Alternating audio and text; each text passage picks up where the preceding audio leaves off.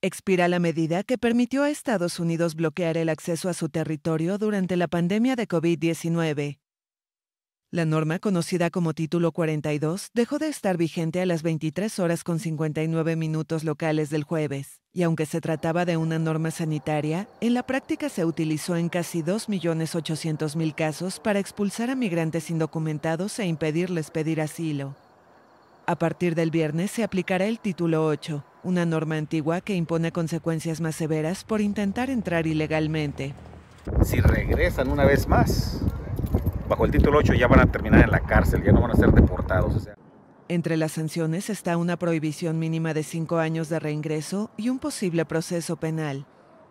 Contar con los requisitos para el asilo también será más difícil porque a la medianoche entró en vigor la regla de presunción de inelegibilidad, que lo condiciona a haber seguido las vías legales o haberlo pedido en un país de tránsito y haber sido denegado. Para seguir una vía legal, el migrante puede acogerse a programas de reunificación familiar, a los permisos humanitarios para cupos de venezolanos, haitianos, nicaragüenses y cubanos, o bien tramitar sus solicitudes mediante la aplicación móvil CBP One que ha reportado saturación.